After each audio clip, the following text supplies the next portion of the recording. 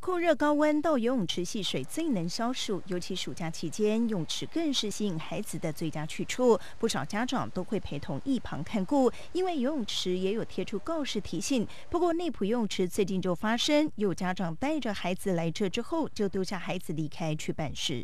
家长就是丢着小朋友就离开游泳池，就是他可能要去附近办事情，他说很快回来，但是他小朋友也是丢了二十几分钟还没回来。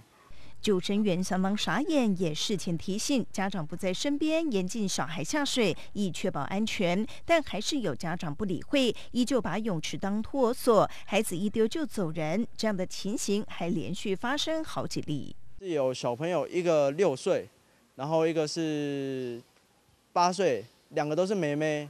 八岁的妹妹带着六岁的妹妹，就是也是来游泳池，家长就是也是丢了游泳池，就是离开游泳池这样。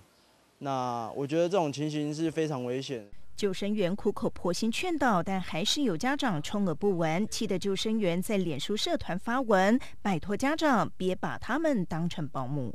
像，嗯，真的发生什么意外，我们救生员一次要顾大概好几十个小朋友，不可能每一个都百分之百完全完全顾到。救生员感到无奈，不少家长听到也觉得夸张，直说根本就是不负责任的行为。大人怎么可以就是就是不顾小孩的安危啊？这样子，对啊，而且这种行为就是就是很不负责任啊。这样这样是危险的哦，真的，一定要家长这边也有有规定嘛，没有十岁以下家长没在这里就不行，让他下水。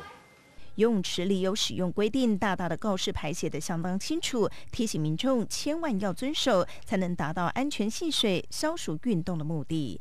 评论新闻蔡立华魏德伟采访报道。